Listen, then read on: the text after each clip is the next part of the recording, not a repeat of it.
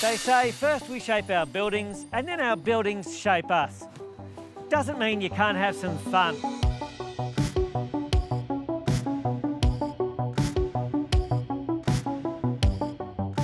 So Bernard, I love these, but they're not temporary, are they? No, not at all. Um, in fact, as a board, we didn't want demountables. I, I, I actually said over my dead body. you know, we are a German school, and um, to us, these containers are a beautiful thing. They are the packing crates that we use to relocate. You know, from Germany, from France, from anywhere. Pack in the Europe. household up pack in the a household shipping up container and... and move to Australia. Yeah, for example. And and so um, we we use that as the basis, and then from that um, design these buildings that are. I suppose not only energy efficient because they've got these um, passive heating and cooling. So you see this um, black box over here.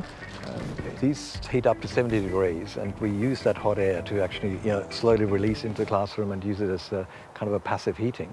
Um, and the same we do with the cool air from underneath the containers. We suck that in and use it for cooling in summer. So we reduce our air conditioning bill by about 70%. I thought these were classrooms, but you're saying from the north is the sun to create heat, and what happens on the south? So Tim, as you come in here, you can see this beautiful box. Um, it's, this is all the daylight coming down with the hot That's boxes at the end.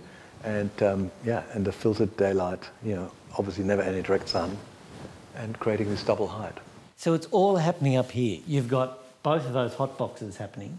You've got southern daylight, and that's great daylight, by the way. That is, there's no lights on in this room. Yes. That's really magical daylight. Yeah, and it's a really soft, beautiful kind of portrait light, like the painters used to use. It is. It's a lovely space to learn in. You see here the classroom. It's got a great atmosphere.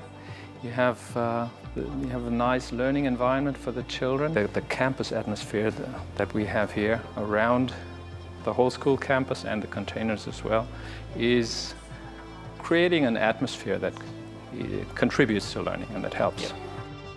Simple concepts, well designed, mean here young minds are not just learning in the classroom, they're learning from the classroom.